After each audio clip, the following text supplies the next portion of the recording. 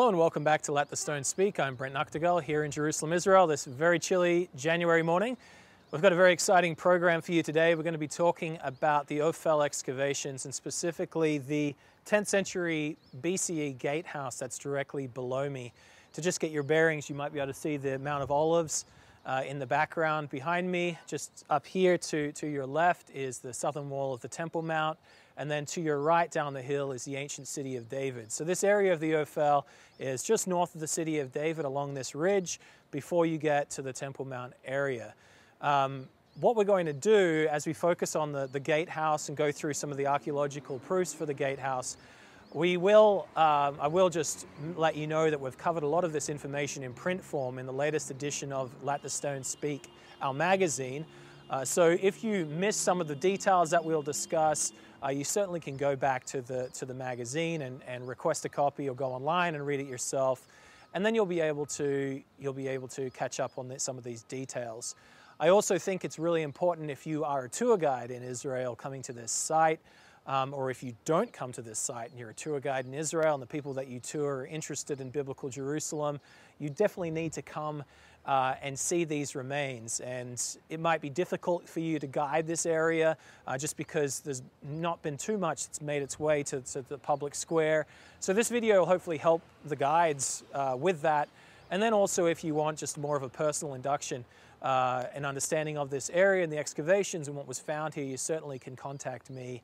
Uh, the email address you can write to is letters at armstronginstitute.org and I'll be happy to, to fill you in on any, any details and even visit the site with you if you want to understand more. We really want to see more people come to this site. This is the only uh, Israelite period, uh, uh, biblical period gatehouse here in Jerusalem um, that's fully accessible to the public and so it's extremely important uh, for you to, to visit this site. So we're going to go down to the area and you'll get uh, some, some insight into the dating of this structure. So I'm down here in the middle of this gatehouse. Uh, it's quite difficult to make out all the ancient walls right now as it stood going back 3,000 years. The main reason is that for this is because we're in an area of Jerusalem that has been repeatedly demolished and rebuilt, demolished and rebuilt. This big wall behind me, the Byzantine period city wall, this is 1,500 years after these walls just to my left. And even this wall just to my left was was carved into a thousand years after King Solomon during the time of, of King Herod. And so it's quite difficult to make out the gatehouse, which is why we're doing this video. I'm hoping from this angle that we'll be able to overlay uh, a graphic representation of how, these, how this gate worked, the different gate chambers along here. I'm standing in the, the thoroughfare, the middle passageway that comes from outside the city back there to inside the city. And then just to my left, you've got a very complete uh, chamber, and then there's another one uh, further over to my left, and then there would have been two more to here to the right, with potentially another two, five, and six chambers going back to Solomon's time as well. You might be very familiar with different six chambered gates throughout Israel. These are known as the Israelite style gate or the Israelite gate with six chambers just because they are found repeatedly during Israelite period occupation of these cities, constructions, and they're also found um, very similar in design and, and, structure. And we have an article about that on our website. I'll leave a, a link to the in the show notes for that article.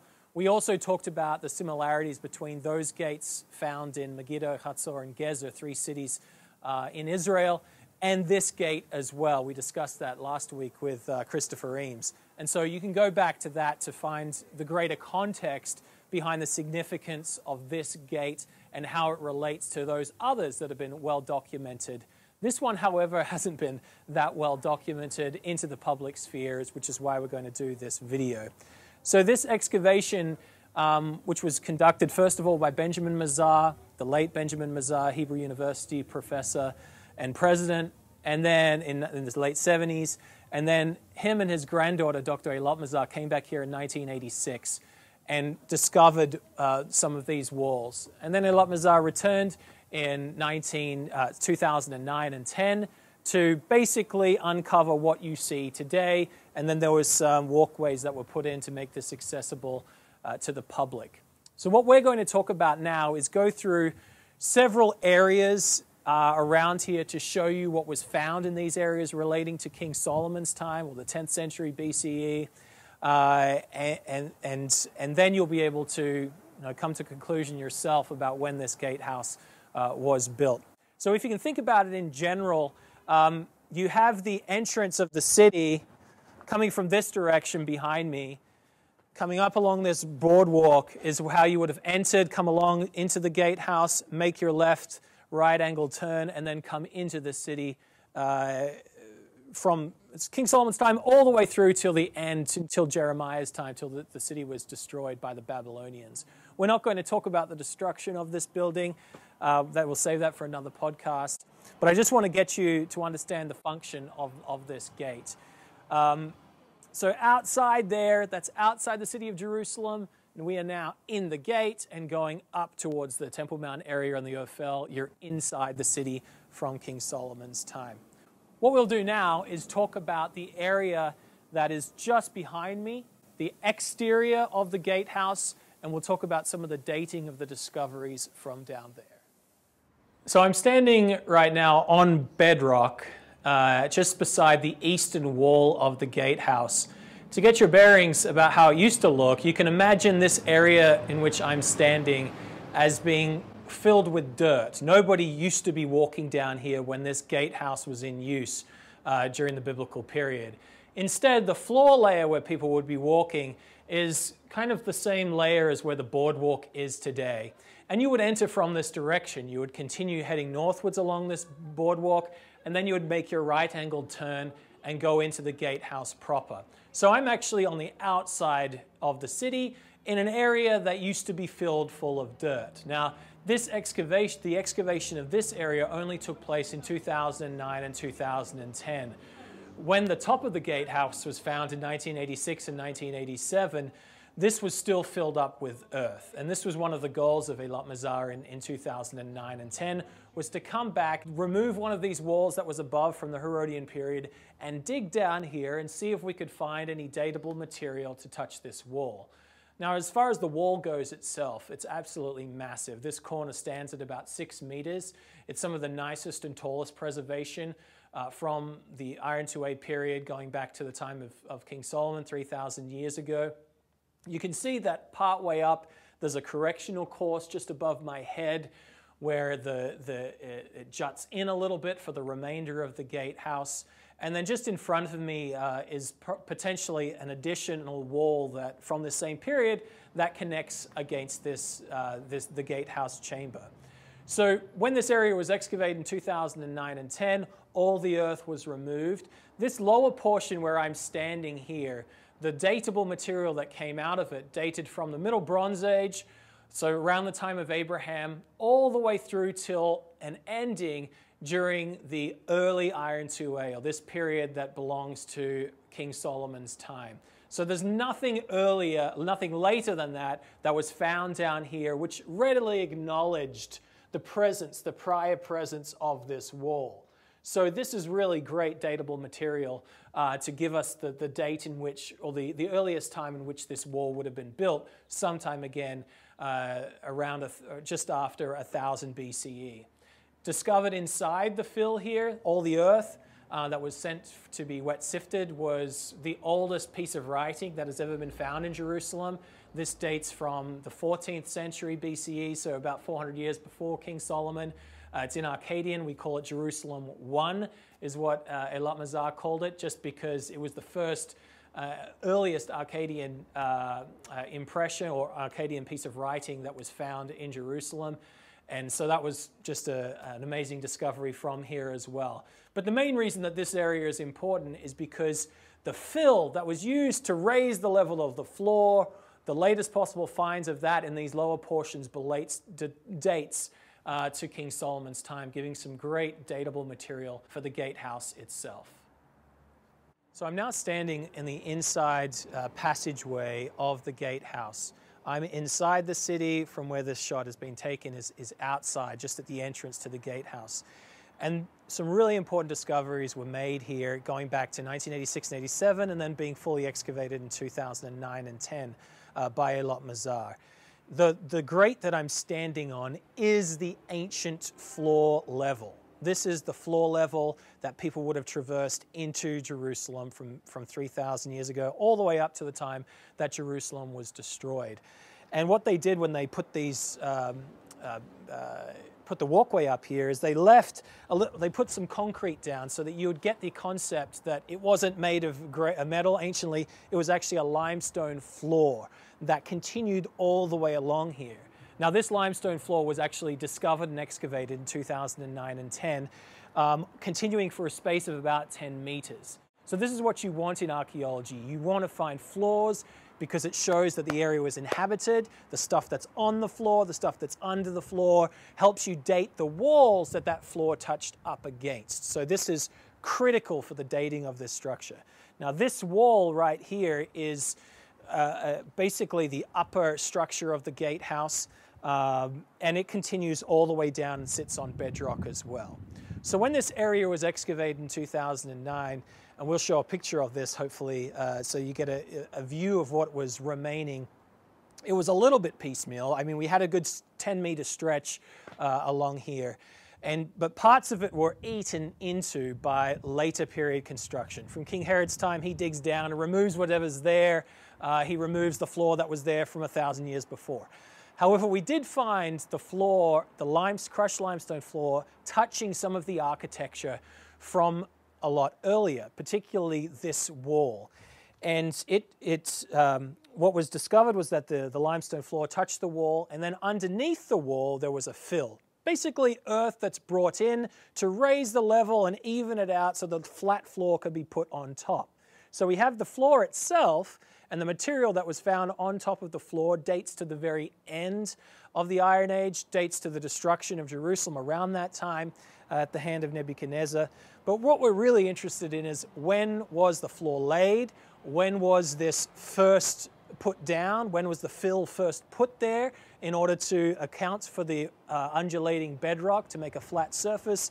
And critically, then when was this wall built? As this is part of the whole above structure for the gatehouse itself. So Eilat Mazar, when she returned here in 2009, she did something quite smart. She recognized that this was a, a thoroughfare, ancient thoroughfare, thoroughfare that was in use for a 400 years or so. And so she decided that because you would replace a, a limestone floor often to keep the same level uh, of, the, of the gatehouse, but it would get worn, it would get used, you'd have to bring in more crushed limestone. What she did was she separated the, the, the material that came, or the pottery that came, from the very upper part of the fill, which was directly below the limestone floor, and the lower 50 centimeters of the fill that was resting on bedrock, yet still coming up again, touching this rock. And this was a, a great decision because had she not done this, you would have had material from the end of the Iron Age or from the time that Jerusalem was destroyed all the way through till the time of its till time of Solomon, all together as one. And you date a fill by the latest finds in it. So this whole fill going all the way to bedrock would then, then thus included this wall would have been dated then to sometime at the end of the Iron Age and when Jerusalem was destroyed or slightly there, slightly before. But because she made this separation, between the lower fill and the upper fill. And this separation was not based on any type of change in color, change in consistency. It was technically basically the same stuff. It was an arbitrary decision she made. Bottom 50 centimeters, we'll separate it. Top 50 centimeters of this meter of fill will separate. Uh, and then we'll be able to catch to see if there is some type of difference between the fill that was brought in originally and the slightly corrupted fill because they replace this floor so often. And as she did that, she found material from the 10th century in this lowest fill. Nothing later was in it. The, the, the, the, type of fill that is here, the material that came out, matched the fill that is on the outside of the gatehouse by the eastern wall, which I talked about before. And this was critical because it shows that not only was the very foundational courses of the gatehouse built during King Solomon's time, but also the above, above ground structure was also built. The stuff that would have been visible, like this wall, would have been visible to those ancient people, was also built during King Solomon's time as well. And so if you visit the site today, you might see some an ugly metal grate. um, and not understand why they put it here. Basically, they've got the grate so you can still see the, the foundational walls of the gatehouse underneath, but they put some of this concrete here um, that kind of looks like a crushed limestone floor so that you can get the sense of how people anciently, during the biblical period, would have entered Jerusalem through this gatehouse. So I'm standing inside uh, the fully preserved uh, south, southern chamber of the gatehouse. So this is quite remarkable um, that there's been such good preservation here. Just off to my left, they've got some recreations of the pottery vessels that were found inside here. Uh, some potentially some storage vessels for water or something like that. And so the very top layer, when it was discovered back in 1986, it belonged, and actually a bit earlier, belonged to this period relating to right at the end of the of the first temple period before Jerusalem was destroyed. But again, we're not talking about the end period, we're worried about when the building itself was constructed. Now you can see there's several different types of, of architecture here. You have the above ground wall that people would have seen when they visited the site, when they would have come into this uh, chamber. You can see that there's a course uh, that is a little bit, that juts out by about a foot um, part way down. And then what I'm standing on right now is a, a, stone plinth, as Dr. Mazar called it, or this stone platform that that is basically the the big um, the structure underneath, the foundation for the whole gatehouse complex. Now you don't really see any of these elements from the outside of the gate, from the eastern wall, but you do see them inside here, uh, which is fascinating. Now, obviously, these little branches here. Uh, this tree that's not ancient, this is growing up here based on a bit of neglect uh, for, from this archaeological site. Uh, hopefully we can remove those uh, sometime soon. So what about the things that were discovered inside the fill? Now, there was only one floor layer that was discovered inside here relating uh, or one relating to the walls. And this was a, a floor that, that continued at the same height as the, the floor from the central passageway. Uh, this the limestone floor actually came partly into and through this passageway, showing that it was an entrance. It is a doorway uh, coming into this this chamber. The, the, the, the, floor itself rose above this course of stones actually and touched the, the, this course of stones here. So everything that was underneath inside this fill was was uh, somewhat homogeneous going down to the very base sitting on the on the plinth. So again, we have this concept of original foundation, uh, walls that are constructed, fill brought in to raise the level of the floor, and then a limestone floor over the entire thing. Now again, the material that's on the very top relates to the destruction, the end of use of the building. But what is related, what is the dating of the fill? Now, there is some disagreement between Dr. Eilat Mazar, Dr. Ariel Winderbaum, who excavated with her in 2009 and 10, just outside of this area, uh, uh, about the dating of the material that was found in here. Dr. Eilat Mazar did not excavate all of this uh, in any of this in 2009 and 10. It was already excavated in 86 and 87. And I wonder if she came, if she excavated this, if there was still some earth in here in 2009, whether she would have incorporated the same method she did of creating an artificial separation between the above fill and the lower fill, um, because it might have helped with getting a really clean uh, dating material from this lowest fill. Regardless, what she wrote back in 2000, 1986 and 87 about this fill when she excavated it all together as one locus, as one group, putting it in the same pottery bucket. She wrote that it seemed to belong to the 9th century. So this is about 100 years after King Solomon. And she even wrote there that perhaps some of the vessels had some wheel burnishing uh, on them, which this is a feature that comes into practice uh, after uh, the time of Solomon. So she said, well, since we've got the wheel, burnishing there uh, in some of these in some of this material, it probably dates to the 9th century. Um, however, when she came out back and looked at the pottery in 2011, 2000, uh, after this excavation in 2009 and 10, she said really the, the, the, burnishing is so fragmentary that it's quite difficult to discover uh, whether it was wheel burnished or hand burnished. Hand burnishing, of course, being something that did belong to King Solomon's time. So, as far as the dating of this chamber goes, I would say it's probably a little bit more inconclusive as opposed to the dating on the on the uh, on the bedrock on the eastern side, and even the dating um, that was that was more specific in the central passageway. Nevertheless, the majority of the discoveries that came from this fill, they did belong to the early 10th century um, and and earlier rather, well, the 10th century and earlier, the time period of Solomon, rather than the very latest, you know, the 8th century or the 7th century BCE.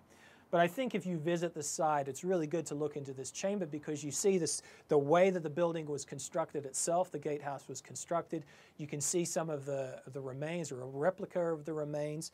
And then you see some of the work that could potentially still be done, perhaps going through some of this floor, uh, some of this to find you know, in the guts of the structure itself, some hopefully some better dating material that will give us a conclusive date for this chamber itself. Well, that concludes our tour of the Ophel Gatehouse and specifically the dating to the 10th century BCE uh, from King Solomon's time. If you want more details about this, certainly do go to armstronginstitute.org and you can read an article entitled The Forgotten Gatehouse. It's about this, the discovery of this, and its dating to King Solomon's time, going through more detail uh, of how Dr. Mazar came to this conclusion based on the archaeological evidence. Also, again, if you would like to tour this area, we do offer tours. You can write an email to tours at armstronginstitute.org. That'll make sure that we receive your email. You can talk about the dates that you would like to come to the site. Again, this is probably the most important or one of the most important archaeological sites in Jerusalem from the biblical period. Uh, definitely going to King Solomon's time, something that's going to be conclusively dated to that period. This is it. And yet, as you see around me and seen around me today, it's open for the public and there's just not many people here. And it is, I believe, a travesty to the site that there isn't more people that are visiting. And some of that's probably based on um, the understanding. When you come here, it's not too easy to find out the details about the dating or about what the structure looked like.